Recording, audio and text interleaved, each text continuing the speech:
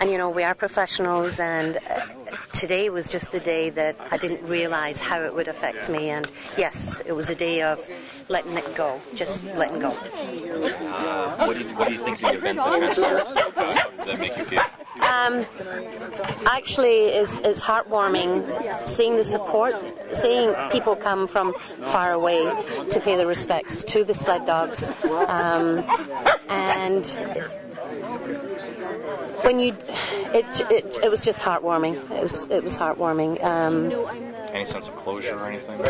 uh, y- yes, yes. Uh, I believe after sentencing, that will be the final closure for me um, and for most of the investigators. But certainly today helped, and the dogs are at rest, and um, and they had a story to tell, and I believe that the BCSPCA helped tell their story.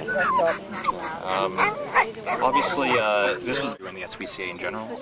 I think um, this investigation for the BCSPCA has been one of the largest that we've ever had to to do, and um, we we we can't thank the public enough for their support. Um, because all in all, the, the government do not they don't fund the BCSPCA, and if it wasn't for supporters, for example, people coming out today, we wouldn't be able to do the job that we do. So for that, I'm eternally grateful. Um, we are the voice for the animals, and um, and the public supporting the BCSPCA is just phenomenal. Thank you so much. You're very welcome. I guess what, what exactly made you want to come out here?